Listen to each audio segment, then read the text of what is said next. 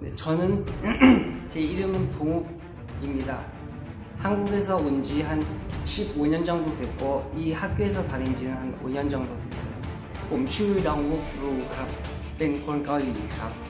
แล้วก็ผมกำลังศึกษาอยู่ที่ชั้นม .6 ครับ ผมได้เข้ามาเรียนในโรงเรียนมงคอร์ดตั้งแต่ม .2 และรู้สึกการเรียนในโรงเรียนมงคอร์ด ไม่มีความเครียดครับ คุณครูก็ friendly ทุกคนและให้ความสนใจกับนักเรียนทุกคนครับ ทางโรงเรียนเขาจะมีการหาข้อมูลเกี่ยวกับมหาลัยให้นักเรียนครับ ซึ่งผมคิดว่ามันเป็นสิ่งที่สำคัญมากสำหรับนักเรียนครับทุกปีจะมี EP Family Day ที่รุ่นพี่จะจัดกิจกรรมนอกโรงเรียนให้กับน้องๆครับ มันเป็นกิจกรรมที่ทำให้ทุกคนใน EP แบบสนิทกันมากขึ้นครับ ผมคิดว่าโรงเรียนมุงฟอร์ดวิทยาลัยเป็นโรงเรียนที่ให้ความสำคัญกับนักเรียนเป็นอย่างแรกครับ ขอบคุณนะครับ